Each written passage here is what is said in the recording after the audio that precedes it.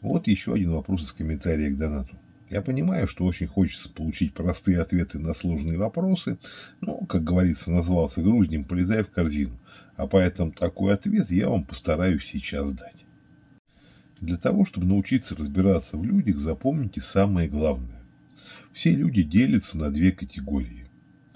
Те, от которых что-то нужно вам, и те, которым что-то нужно от вас. Если к вам подходит человек, от которого вам ничего не нужно, значит ему что-то нужно от вас. И тут уже вам нужно решить, хотите ли вы это ему давать или нет. И если хотите, то на каких условиях.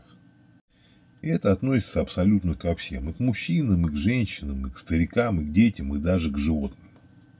Просто так человек никогда ничего не делает. Для всего есть причина.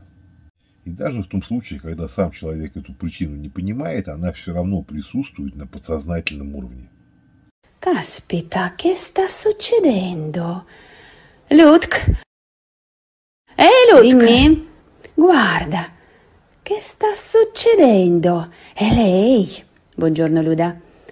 Ah, tu, puttana, con i capelli tinti. Ma perché tinti?